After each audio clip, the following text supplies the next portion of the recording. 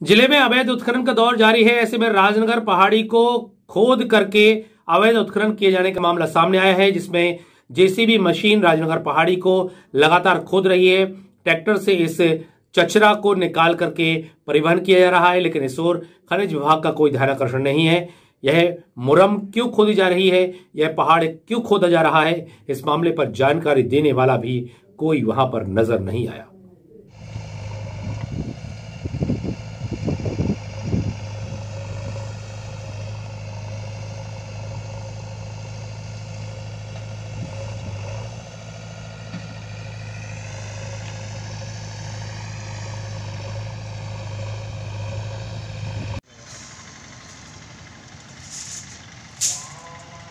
चार पेड़ रह गए ना।